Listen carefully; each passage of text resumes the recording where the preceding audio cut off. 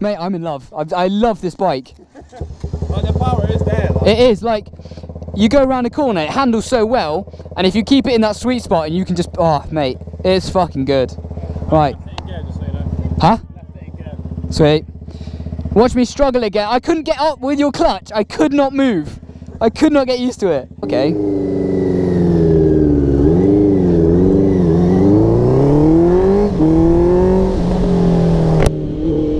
Right.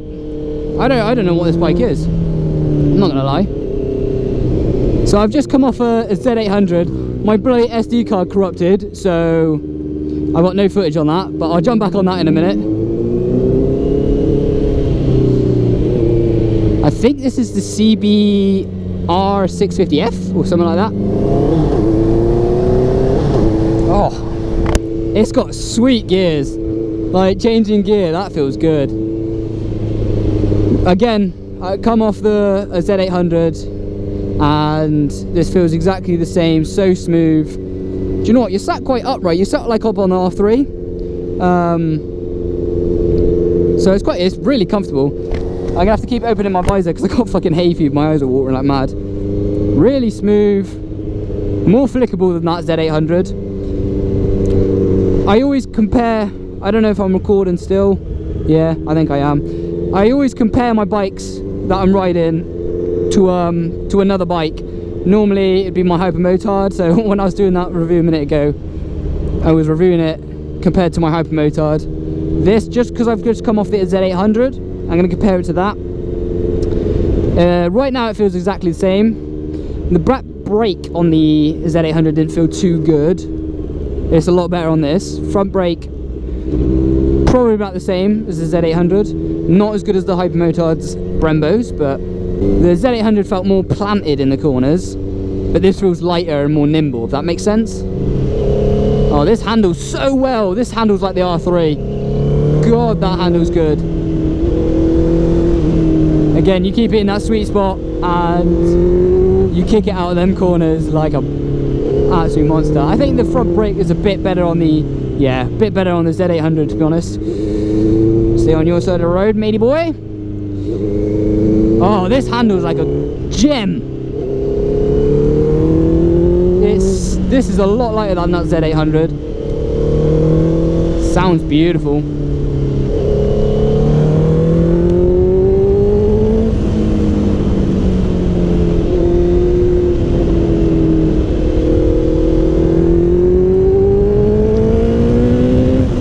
Now I don't want to be I want to be brutally honest. I don't want to like I'm not trying to rag on his bike because uh, the guy that owned this also had an MT-07 and I loved his MT-07. Never got to ride it though.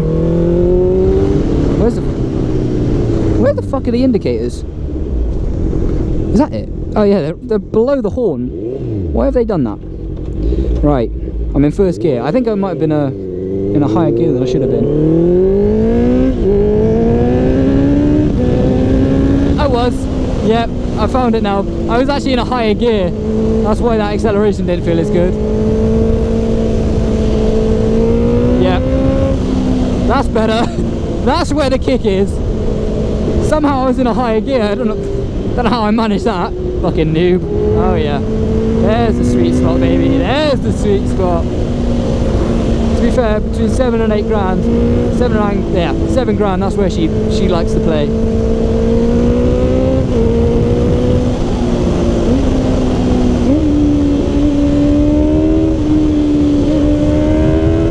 I love these fucking four cylinder bikes that you rev them out and you can just get it going and listen to it.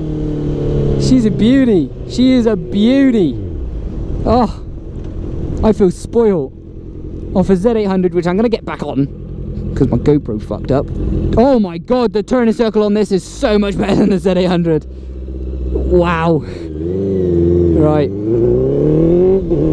Yeah, first gear is beautiful.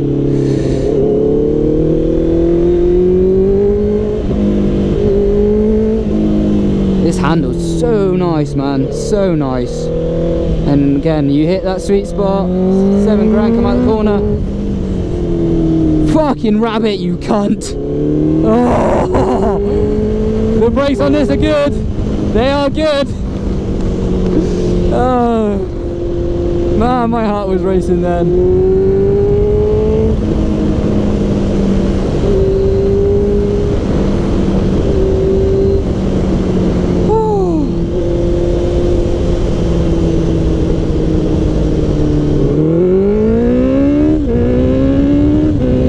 Oh, mate, that shift. That is just. Yeah. She's nice. I like her. I still.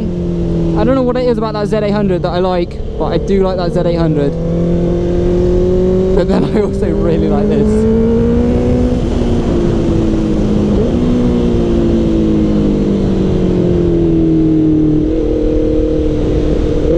Sun's out my eyes now. Oh, mate, she. Look at her. She handles better than the Z800. The Z800 it is a planted bike. It's quite heavy, whereas this is a lot lighter and you can just chuck it about. Look, that's all my hip. I'm not doing anything with my arms. That's how light she is. She's beautiful.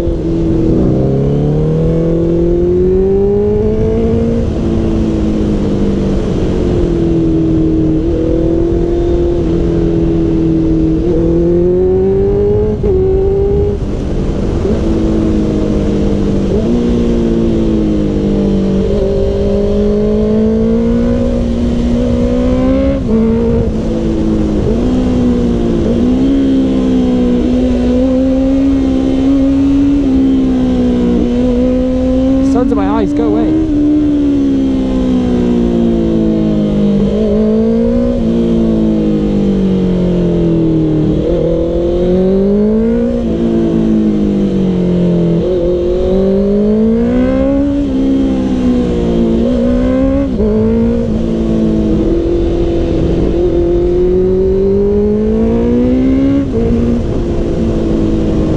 Yeah. So again, I like to rate my bikes, and um, I rated the R3 when I was riding it uh, about a six out of ten. Uh, Duke 390 about a six out of ten. Uh, that KTM LC4 640 I'd probably rate a good, a good. Um, oh, I don't know, a seven out of ten. This I think I'd give a seven out of ten, and that Z800 was an eight out of ten. I really like that Z800, I'm not gonna lie. I don't know if it was the fact I came off the R3, so it's gonna be interesting coming off of this.